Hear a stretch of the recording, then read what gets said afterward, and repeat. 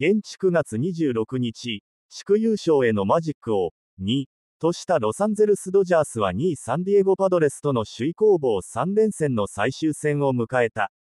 大谷翔平は1番、指名打者で先発出場し、7回に値千金となる逆転的自打を放つなど5打数3安打1打点の活躍。ドジャースが7対2で勝利を収め、本拠地最終戦で3年連続22度目のナリーグ西地区優勝を決めた。動画、大谷翔平が2安打。7回には地区 V を引き寄せる右手記事だ。初回の第1打席はカウント1、2からセンター方向に強烈な打球を弾き返してヒットかと思われたが、二塁ベース後方に守っていた遊撃手ザンダーボガーツの正面を突くいうゴロ。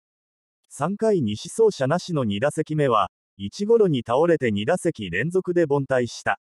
パドレスに2点を許した6回、先頭バッターの大谷は3球目のカーブを捉えて右前だ。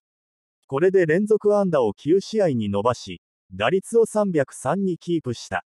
この後大谷は2死3塁まで進んだが、後続が返せずドジャースは1点が遠い。終盤の7回、ついにドジャースが反撃ののろしを上げる。虫一塁で6番ウィル・スミスが4安打無失点の好投を見せていたパドレス先発上マスグローブの真ん中高めの直球を強振。失投を見逃さず、バックスクリーンに運ぶ20号ツーランで試合を振り出しに戻した。この後ドジャースは1死1、2塁と得点圏にランナーを置き、バッターは頼れる大谷。2番手左腕タナー・スコットのスライダーを右安打とし、日本人スターは雄たけび。連日の逆転的自打でドジャースがついに勝ち越しに成功した。なおも1死2、3塁でムーキー・ベッツの2点的自打が飛び出し、ドジャースが一挙5点を挙げた。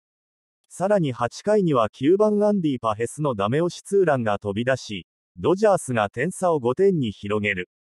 そして、5度目の打席を迎えた大谷は松井裕樹と対峙。平凡な先かと思われたが、前進した左翼手が取れずラッキーな二塁打で3安打の猛打賞。打率を305にアップするとともに、史上19人目の400塁打を達成した。